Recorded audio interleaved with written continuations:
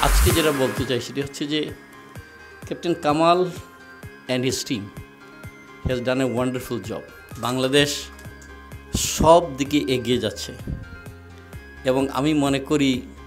যে এই আলোকচিত্র it live the past and the present for the future এমন একটি জিনিস যেটি আর কোনো there is no alternative in society আর এত সুন্দর প্রতিচ্ছবি এবং আজকের ছবিগুলোর